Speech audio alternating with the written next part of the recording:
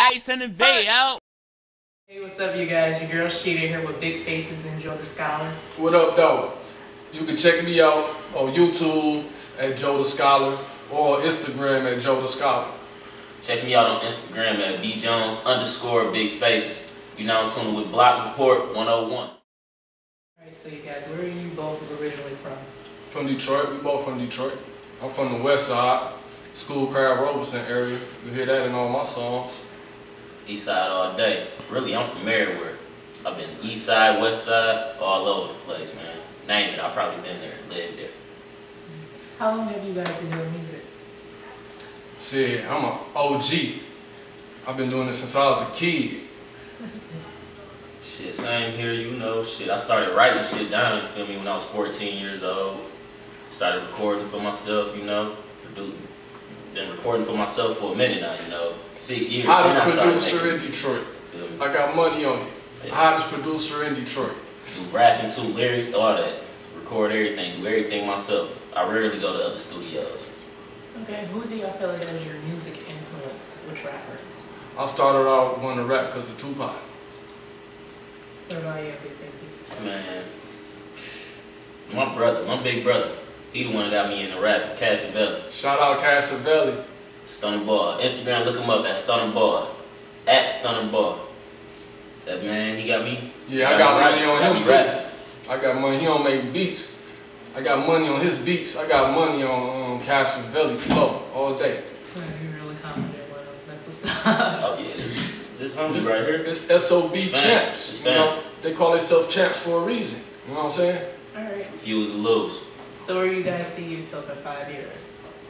Shit, I'm gonna probably be the leader of a revolution. You know, or one of the leaders of, of a revolution. Yeah, I can say the same. And he gonna be making the soundtrack to it.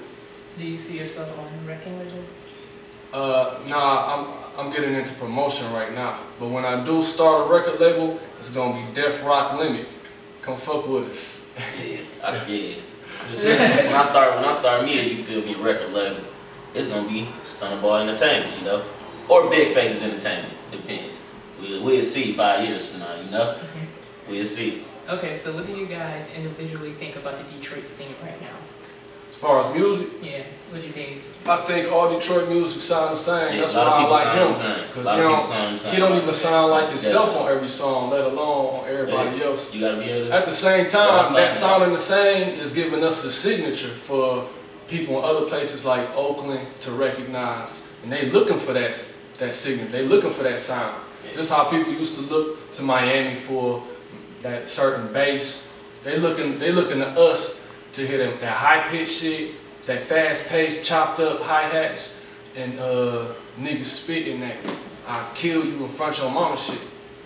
Okay. They're looking for. That's so what we you, got. You feel like different sounds separate you guys from everybody else? Yep, that's why we champions. Cause everybody else gon' it's like who sound the best out of them. We Right. gonna be standing like Instead of whole instead nother- of trying to come with their own shit, they trying to sound like the next man. That sound good, you know. Like be genuine, be yourself. You know, like come within from with it. You know, like come from within with it. You gotta gotta be yourself on there. Like you can't be nobody else. It's not not If you possible. think about it, we really just started getting producers coming out of Detroit. Our first hit artists like uh, Street Lords and Cheddar Boys, like the Cheddar Boys uh, had hell of them. That was one of the first, you know what I'm saying? That was in the 2000s. All through the 90s, we was using samples. Gated up, you know what I'm saying? Um, Rock Bottom, we used to sample. Uh, Street Lords used to sample. So it's really producers just now busting out their shit. But guess what though? A lot of people sound the same. You know what I'm saying? So that's why we like to say we champions, because we gonna stand out because of our, di- you know, sound like every beat sound different. You can tell a different story. You don't have to keep shooting niggas in front of their mama on every song, because the, the beat's gonna switch up. Right. Okay. So how do you guys feel that, what is the difference between your music in the past and your music now? What did you, did you guys change it? Do you feel like you changed it in any type of way? I can answer that question for him. I was about to, I was about to say, I seen him work. perfect. I seen him work specifically one year on bass lines. The next year, hi hats. The next year, horns. I seen him train his game the same way LeBron did when he came Drums, to the you know, NBA. like just So that focusing now- on one area and trying to perfect Everything it, that you know? he touched, he ain't just playing with it. He can really make a rhythm out of it because he done went through that whole section and perfected. it, So he could, Yeah, and I he, mean, that, that's why he's so quick now. He cook it up like eggs. Yeah. He, he already know what he thousand looking beats, fifteen hundred beats. You can't, you can't like, can't go wrong. You can't As make, far as me, you can't make fifteen hundred beats in a row. You know, As far as me, the weak difference. in a row. in You my like, shit- you gotta have something in there that's gold. You know, like thousand beats, you gotta have gold in there. Five hundred tracks I recorded on, I gotta have gold. Like I'm over five hundred now. I was five hundred at five hundred like two years ago. You As far as me, with, with my di- with the reason I signed, uh, reason I, well, I want to say this is because it's important. have. Yeah, I'm conscious that I'm off. I know I cuss a lot, smoke weed, but I'm smart. I know exactly what's going on. I know my history, and that's why I call myself a scholar.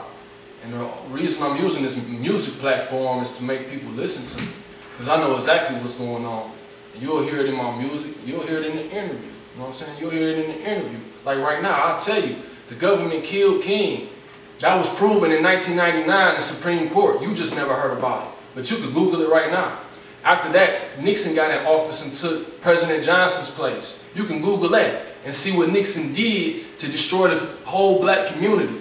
And you'll see that they're doing the same thing today. Just look at your history. Or be lazy and I'll tell you your history. But just, you gotta tune in though. Okay. So, is there anybody that you guys like to collab- collab with, or who you collaborate with now that you're doing? Oh, I collab with everybody. Anybody that wanna mess with me.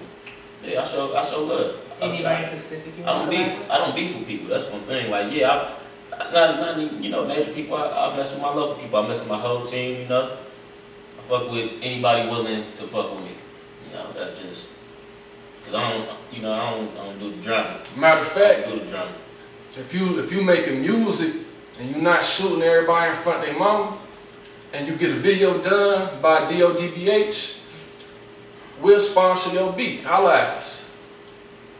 But it gotta be some music, you know what I'm saying, some good music. But you'll hear his beats, you'll be like, yeah, we see what he was talking about. You see, I can talk all this, but I'm telling you right now, I'll sponsor you your first beat. If your if your content is good, you know what I'm saying? And, and if you snap it. And if you, you gotta get a video from DODBH though. And the beat come with it. Courtesy of my man, Big Faces. Courtesy of my man Joe the Scholar. Yeah. Stunner Ball and well it's not in stores, but it's free on YouTube right now. Better go get it for it do cost money. You know, well, they stealing music anyway nowadays. Yeah, that's why we just gonna throw you they this shit. stealing everything nowadays. We're just gonna throw you this because you're gonna love what we're cooking right now as we speak. Okay, you guys got, do you have a new mixtape coming out, or do you guys have any shows coming up? No, the, uh, I got Joe the Scholar. That's on YouTube too. Go to Joe the Scholar. Check out my videos. Check out my um my whole album for free. You know, check me out. Then uh, he about to drop that Stunner Ball Volume One, Volume Two, maybe give you Volume Three. You know, maybe that's definitely. All on YouTube. What about your performances? You guys have any shows? Yeah, we be doing shows at the Bullfrog. You know, we post our performances on our Instagram. So if you go to uh, Joe the Scholar on Instagram, follow me. I follow you back. Check all that out.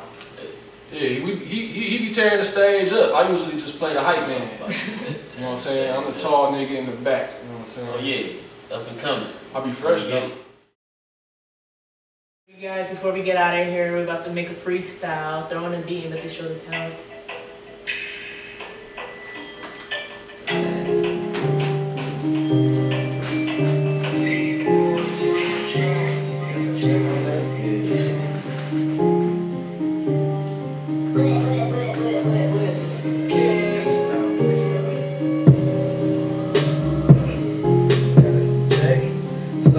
Thompson.